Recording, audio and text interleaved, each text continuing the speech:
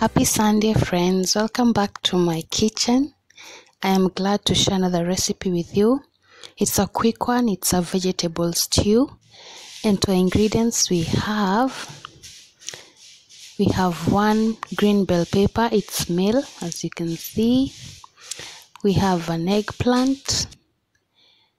We have a large courgette or zucchini.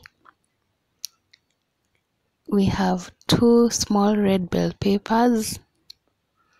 We have cauliflower. It seemed to have overstayed in the market. It has grown some things on top, but we'll work on that while cleaning. And then we'll also dice it into small florets. There we have some onions, some green peas, carrots. All these are to give color. Into our spices, we have coriander powder, we have turmeric powder. Here we have garlic powder. Here we have cumin powder. You can use cumin seeds if you have. And lastly, our Himalayan salt. So we have already worked on our vegetables and straight away into our sufuria. We'll put some water to boil. After you have boiled the water, it has come to a boil. We begin by adding our onions and eggplants, and I'll leave them like this and cover for two minutes to allow to cook slightly. I turned in the middle, but it was not done but right now it's okay. Next in our list are the course vegetables. So we have our carrots and peas. They take much longer to cook compared to the other vegetables. So at this point i have added them. And we'll go ahead to add our seasonings. Here we have coriander. We have the cumin. And lastly we have the garlic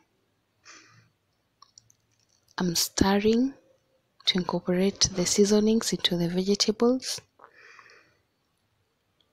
And after this, I'll add a quarter of a cup of water and cover on a medium high heat for five minutes so that the peas and the carrots may cook and be not so mushy but tender and whole. Here we go.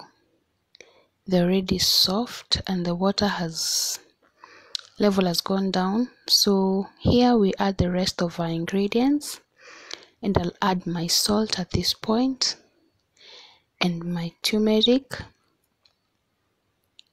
and the color will change to yellow. This is optional if you don't love turmeric. You can just do without it stir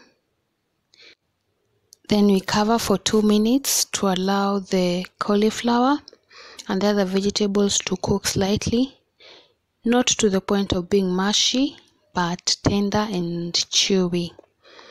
And so here we go they're ready. I've had a taste of the cauliflower and it's soft.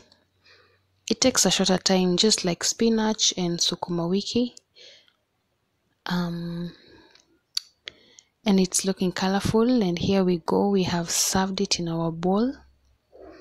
It's looking beautiful. You can eat this alone.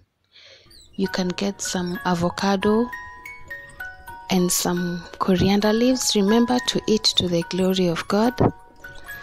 Also remember to be a channel of light in everything that you do if you like this recipe, please give it a thumbs up. And if you've not yet subscribed, remember to hit the subscribe button so that you can be the first person to get my videos.